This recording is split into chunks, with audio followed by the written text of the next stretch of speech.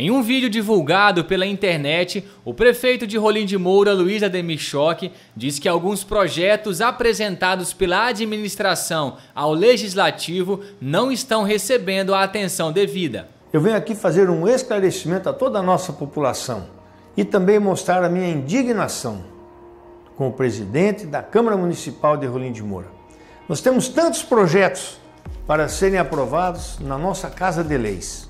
E nesta segunda-feira, nosso presidente não pautou nenhum projeto, não foi votado nenhum projeto na Casa de Leis. O presidente quer fazer uma política partidária para atingir o prefeito, mas eu não sou candidato a nada.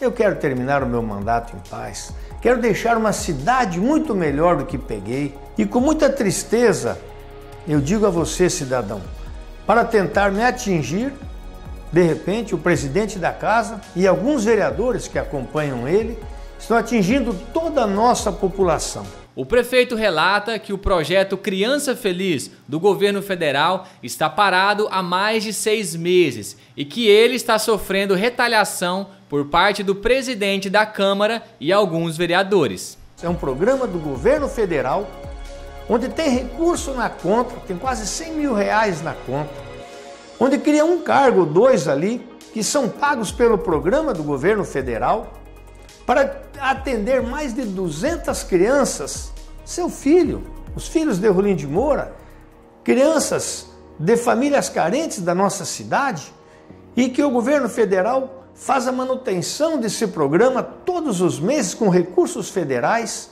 e o projeto está lá parado, há mais de seis meses, sem ser votado, isso me deixa muito triste. E tem muitos outros projetos de interesse público, não são meu interesse pessoal, mas para atingir o prefeito, numa atitude destas, infeliz eu posso dizer até, o presidente da Câmara e alguns vereadores que o acompanham fazem uma retaliação desse tipo. Então faço um apelo aqui ao nosso nobre presidente e aos vereadores que o acompanham. Vamos deixar de lado as cores partidárias, vamos todos juntos fazer uma Rolim de Moura melhor. Com toda certeza, dia 31 de dezembro, nós vamos entregar um município muito melhor. Coloquem os projetos em votação. Vamos fazer com que todos esses projetos, esses recursos sejam aplicados em benefício da nossa população. Com toda certeza, a população vai saber reconhecer. E digo mais uma vez aqui: não sou candidato a nada.